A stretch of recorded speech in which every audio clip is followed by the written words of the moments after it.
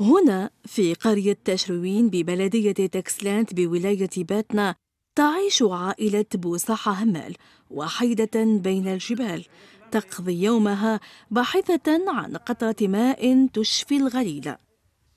سن السولدات أمان قطعا فلان غولا شون سش. الساغغ سيتيرنا سميتين الف ذي تراكتور. البلدية وزلغ غلمير يقوم انا يجينا طلع غرس دوما ندي غامان يقوم أنا يداوين ها والله غير تلغيد 200 واش نوق على بالك؟ امرا كيما سي سبعة الشهر 200 200 200 انش تقريبا دي سني مليون سبعة الشهر انش يسلم ونش ذا مريض ركب غادي قزلت الخدم ذولاش روح غلمي والما تمريت حياة قاسية من زمن الثورة مع همجية مستعمر خلف وراءه حالة هذه السيدة رقية وهذه المعاقة بدليل على ما عانته هائلة بساحة منذ الاستعمار.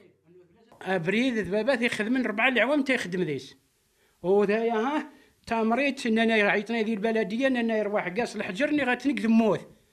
أروح أروح وي غاسي ولا بويت تسرف غيتي برويت هذا ما غريتو ما غريتو ما بين نافري ذي قبح قوم أنا داسن. في وقت اللولغش ذي ما يحكان في اللاس تو سيد المركز نعمي ذاي.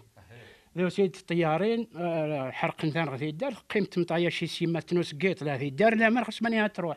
تنوسيس ذي برا ذي برا سبع أيام من ثمان أيام والقمه ترزم في سيما في قماطين تلقات الزوزي هو ملخص لوضعية عائلة أنهكتها الأمراض وقساوة الطبيعة وتجاهل السلطات.